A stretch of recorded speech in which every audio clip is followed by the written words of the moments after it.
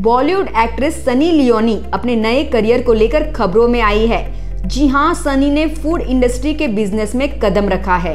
आपको बता दें, सनी लियोनी ने अपना खुद का रेस्टोरेंट शुरू किया है, जिसकी ओपनिंग नोएडा शहर में की गई। इसको लेकर एक्ट्रेस ने अपने सोशल मीडिया अकाउंट पर कुछ वीडियोस और फ़ोटोज़ भी शेयर की है। जरा आप भी देखिए विजुअल्स।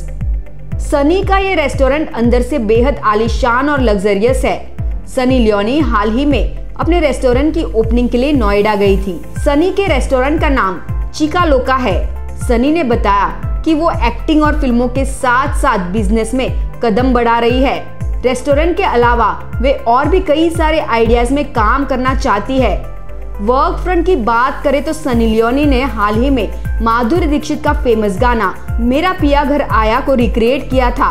और अब उन्होंने रेस्टोरेंट बिज़नेस में अपना कदम रखा है। वैसे सनी लियोनी का ये रेस्टोरेंट वेंचर आपको कैसा लगा? आपकी राय में ज़रूर लिखेगा हमारे कमेंट सेक्शन में। Also please do subscribe our channel Nation Now Mumbai से वेदिता प्रताप नेशन नाउ